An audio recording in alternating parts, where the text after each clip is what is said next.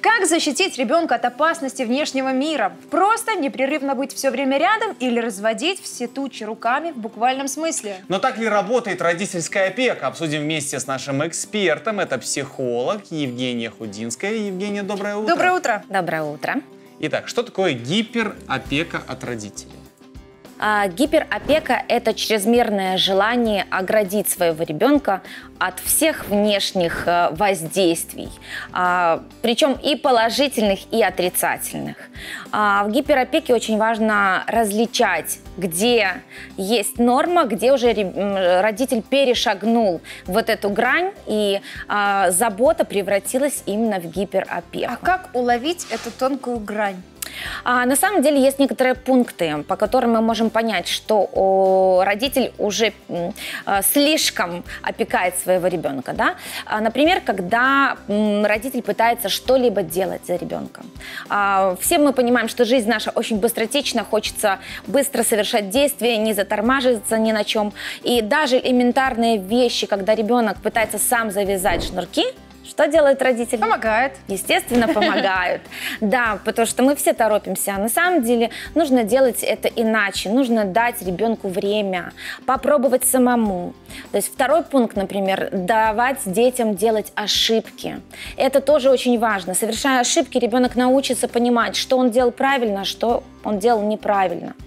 А еще одним важнейшим, конечно же, пунктом – является то, что родители иногда сами не осознают, что они уже стали гиперопекаемыми родителями, да, то есть э, когда она, мама говорит, ну я же из заботы, я же из-за любви, а, тогда э, я советую таким родителям копнуть в себя и посмотреть, э, что вы уже как личность делаете не так, потому что, конечно, а, тут уже вопросы к самому родителю, что ему не доставало в его детстве и что он пытается переложить на ребенка ребенка уже своего. Ну, смотрите, а, вот эта вот идея о том, а, давать возможность ребенку совершать ошибки, родитель же пытается уберечь от а, опасных последствий, которые могут привести эти ошибки. И как э, уловить э, вот... А, да, я понимаю, э, это вот грань, это совсем тоненькая, но тут нужно понимать, когда у ребенка есть угроза жизни, тогда да, вы должны, естественно, помочь.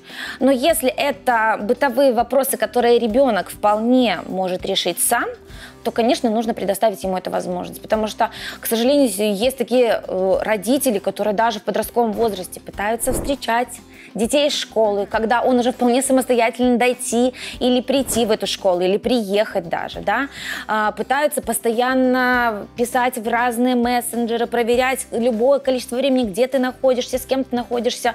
Это уже и про границы тоже, если мы говорим про подростка, да, то есть которые, возможно, где-то не стоит уже нарушать и дать ему самостоятельно вести некую часть своей жизни. А чем чревато? Вот, допустим, хорошо, ну, гиперопека, да, родители стараются оградить, э, вырастить ребенка в парниковом эффекте. Да. Чем это чревато в будущем? А в будущем это чревато, конечно, несостоятельной личностью, да, то есть это вырастет ребенок, который не умеет сам решать вопросы, а, не умеет сам складывать э, коммуникацию с другими людьми, не умеет постоять за себя, это будут трудности во взаимоотношениях и с противоположным полом также. В таких глубоких смыслах это может привести даже к различным депрессиям и тревожности высокой, а, наличию различных наклонностей уже, которые, скажем так, физического а, плана. Поэтому а, это принесет только вред ребенку. Хорошо, а если все-таки вот родитель сел, подумал и понял, что да, я гиперопекаю своего ребенка. Есть шанс что-то изменить? Конечно. Нужно начинать мелкими какими-то шажками предпринимать как, мелкие действия, когда вы дадите ребенку возможность что-то делать э, самостоятельно. Э, ну, например, э, можно проконтролировать ведь ребенка неза, незаметно, скажем так, для ребенка. Да? Если вы тревожитесь, правильно ли он сел на остановке, доехал ли он до школы, то в любых мессенджерах сейчас есть геолокация. Вы можете проверить это, успокоить свои, э, свои нервы, что ваша чада там от пункта А до смог пункта добраться. Д смог добраться, конечно, да. То есть э, э, маленькими какими-то пунктами э, постепенно увеличивать вот эту возможность давать ребенку э, быть самостоятельным. А вот с какого возраста нужно начинать давать ему быть самостоятельным? А, смотрите, смотря э, что мы рассматриваем, есть разные вещи. Но вот я сказала не зря про э, э, пример про детский сад и шнурочки, да, поэтому, конечно, уже в маленьком возрасте мы можем учить своих детей быть самостоятельными.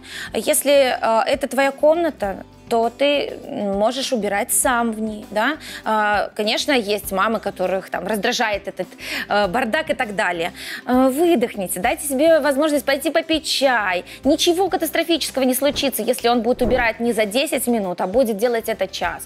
Можно же вовлечь туда папу, всю семью. Можно проиграть это в виде игры. Легко подбросили. Можно вовлечь папу, Конечно. а я пойду пить И чай. облегчить самой себе жизнь. Прекрасно. Конечно. Прекрасно. То есть по- проиграть эту ситуацию по-другому, чтобы это было э, интересно ребенку, да, показать, что это можно сделать интересно, немножко по-другому, а не стоять э, с ремнем и ждать, пока он там пять минут вас будет убирать или тревожиться, что, не дай бог, там где-то он пропустил или игрушка валяется. Можно, да, вообще быть более находчивой и придумать какой-нибудь интересный а, способ мотивировать к этому Да. действию. Кого, папу?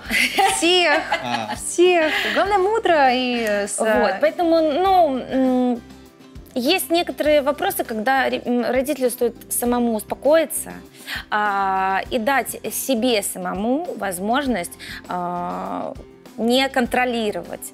То есть э, проработать свой собственный внутренний мир и свои какие-то а, вещи психологические, которые, возможно, а, делают его таким м, гиперопекаемым. Для того, чтобы не сталкиваться с гиперопекой, рекомендую еще раз посмотреть нашу беседу в формате интервью на платформе YouTube и под запись выписать те пункты, которые вам понравились. Ну, а я напомню, что в нашей студии была эксперт и психолог Евгения Худинская. Хорошего дня. Хорошего дня.